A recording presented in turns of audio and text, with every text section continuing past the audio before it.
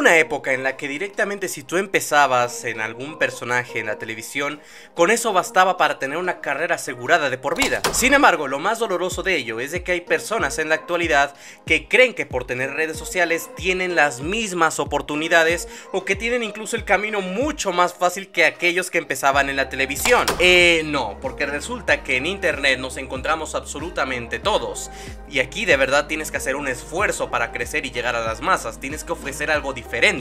Mientras que si tú llegabas a través de la televisión, lo normal era de que fueras ya el hijo de algún artista que estaba ahí de por medio o a través de contactos. Y en muy raras ocasiones era un descubrimiento nuevo y tenías que ser alguien bastante original o con un algo muy grande que ofrecer. Hace poco ponían en Twitter, una red social muy turbia, la comparativa de cómo es de que Dana Paola le batalló, le batalló muchísimo para llegar hasta donde está, a comparación de todos los artistas nuevos que en la actualidad se dan a sobresalir a través de Spotify o otras redes para poder crecer. Claro, omitiendo de que desde pequeña ya andaba metida en telenovelas e incluso ya trabajando en programas de Eugenio Derbez. E incluso también otro ejemplo, como se les dice en la actualidad, que son los Nepo Babies, aquellas personas que nacen y gracias al nepotismo se encuentran en diferentes posiciones de poder adentro de los medios de comunicación. Eugenio Derbez no viene de la nada, él desde pequeño salió en programas de televisión y telenovelas, empezó en Anabel y recordemos que su mamá era una actriz del cine mexicano. E incluso en directores, por ejemplo, también tenemos a Guillermo del Toro,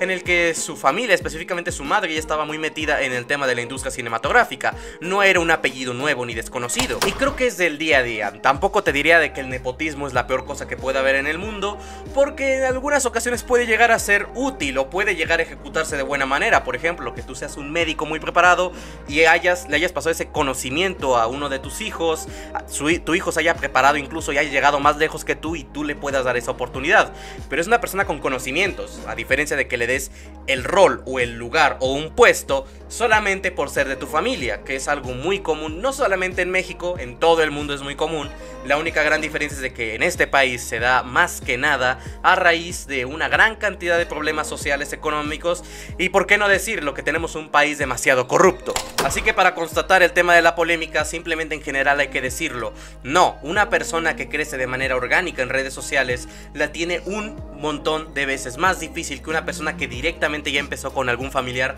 en el mundo de la música, en el mundo del cine o en el mundo de la televisión. Y te diré una cosa, si hay alguien que te diga lo contrario y que te diga que estar detrás de una cámara, detrás de un micrófono, detrás de cualquier proyecto, tratando de crecer sin algún tipo de contacto o incluso sin recursos, es porque directamente nunca lo he intentado, porque en verdad animaría a cualquiera que se anime a estar aquí y salga lo complicado que llega a ser. Aunque también hay que poner un apóstrofe aquí de que también llega a ocurrir el caso en el que, por ejemplo, hay una persona que destacó mucho en la televisión, en la música, etcétera, y trata de meterle apoyo a sus hijos, no en, en televisión o en música, sino en el propio internet, como puede ser el, caso de, de, la dinastía de Eugenio Derbez. O también puede ser el caso de la hija de Bárbara de Regil, que realmente ha tenido todo el impulso que tiene, no por la televisión ni por la radio, sino por internet, pero se debe a que es hija de su mamá y, bueno, sí, ¿verdad?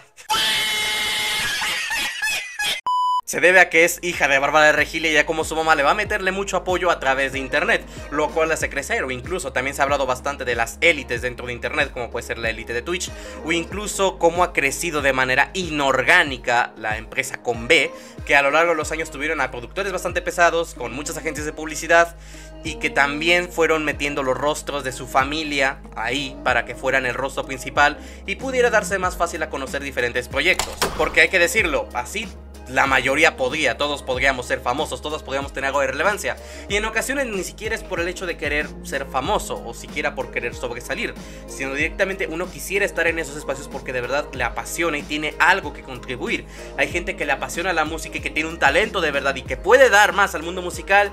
que fácilmente la mitad de figuras públicas que se encuentran en este momento reluciendo en programas de televisión que presumen de su nueva gira. Hay personas que tienen un nivel actoral maravilloso y que no están siendo tomadas en cuenta. Hay un montón de actores de doblaje que tomaron un montón de cursos, que están muy bien preparados, que tienen una gran modulación de voz, pero no se les abre la puerta en ningún estudio porque resulta que también todos los cargos están ocupados por los hijos de doblaje más viejos. O sea, estas son cosas que pasan en nuestro país, que normalmente ocurren, pero eso sí, cuando uno de estos personajes